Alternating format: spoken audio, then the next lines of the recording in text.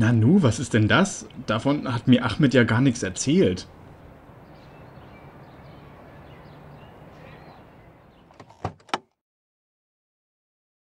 Ahmed, was ist denn hier los? Mein Vater veranstaltet ein Dönerwettessen. Das ist echt klasse.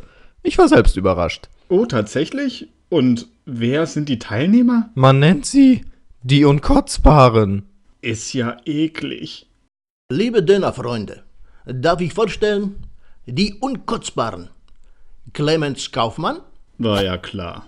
und Bernd Tort. Was? Dieses Mal verlierst du, Bernd. Träum weiter. Mann, Max, unsere Väter sind echt eklig. Echt, ey, warum machen die das überhaupt? Wir wissen doch eh, welcher von beiden gewinnt. Mein, Vater. Das wollen wir mal sehen.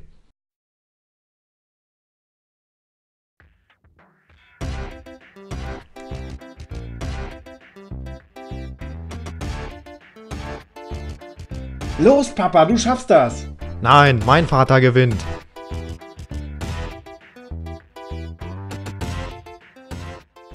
Ich kann nicht mehr. Aha, dein Vater gibt also auf.